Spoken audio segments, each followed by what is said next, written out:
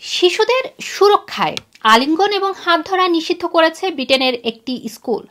Chelmsford, অ্যাসেক্সের Highlands স্কুলের শিক্ষার্থীদের romantic সম্পর্ক নিষিদ্ধ করা হয়েছে। মোবাইল ফোনও ব্যবহার করা যাবে না সেই স্কুলটিতে। স্কুল কর্তৃপক্ষের এমন সিদ্ধান্তে ক্ষুব্ধ অনেক অভিভাবকরা। একই সাথে ক্ষুব্ধ স্কুলের শিক্ষার্থীরাও। তারা বলছেন, তাদের আসলে অধিকার খর্ব করা হচ্ছে। তাদের পার্সোনাল বিষয়ে ইন্টারফেয়ার করছেন শিক্ষকরা। কর্তৃপক্ষের এমন কঠোর নীতি কোনো কোনো অভিভাবক সমালোচনা করলেও আবার সাধুবাদ জানিয়েছেন অনেকে। শিক্ষার্থীরাও সমর্থন করেছেন। অবশ্য শিক্ষার্থীদের ওপর এই সিদ্ধান্ত চাপিয়ে দেওয়া হচ্ছে বলেও অনেকে অভিযোগ করেছেন। বলা হচ্ছে যে শিক্ষার্থীদের যে বিষয়টি বলা হচ্ছে, সেটি আসলে স্কুলের নিয়মের কারণে। স্কুলের শিক্ষকরা বলছেন যে শিক্ষার্থীরা এই বিষয়টি মেনে নিয়েছে।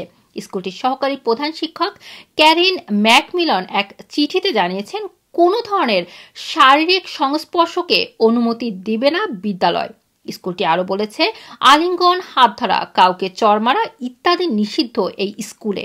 এক চিঠিতে অভিভাবকদেরও বিষয়টি অবগত করা হয়েছে। তারা বলেছেন যে অভিভাবকরা বিষয়টি তাদের তাদের সন্তানদের যেন ভালোভাবে বুঝে দেয়। চিঠিতে জানানো হয়েছে, আপনার সন্তানকে নিরাপদ রাখতে এমন সিদ্ধান্ত নেওয়া হয়েছে। যদি আপনার শিশু অন্য কাউকে স্পর্শ করে, তার সম্মতির দিক বা না দিক যে কোনো কিছুই ঘটতে পারে। কেউ আহত হতে পারে, কেউ অস্বস্তি বোধ করতে পারে।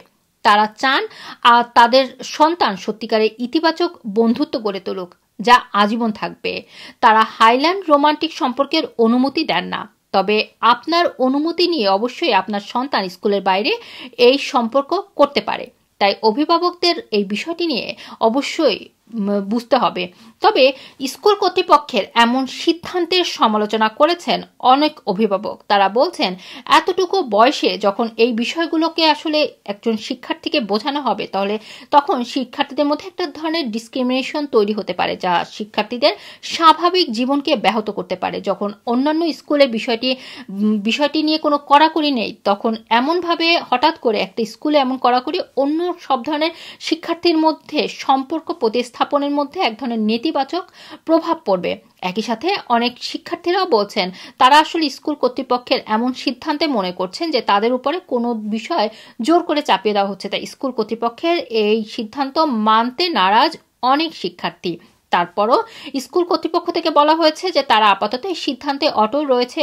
তারা আসলে এই সিদ্ধান্ত থেকে নড়তে চান না কারণ তারা শিক্ষার্থীদের ভবিষ্যতের কথা চিন্তা করেই এমন সিদ্ধান্ত নিতে বাধ্য হয়েছে। এ ছিল আমার কাছে। সম্প্রতি ব্রিটেনের একটি স্কুল যে শিক্ষার্থীদের ব্যাপারে যে নতুন করে সিদ্ধান্ত নিয়েছে সে বিষয়ে বিস্তারিত। ব্রিটেনের যে কোনো আপডেট তথ্য জানুন আমাদের ইউটিউব এবং ফেসবুক পেজে। লাইক, ফলো এবং সাবস্ক্রাইব করুন আমাদের চ্যানেলটি।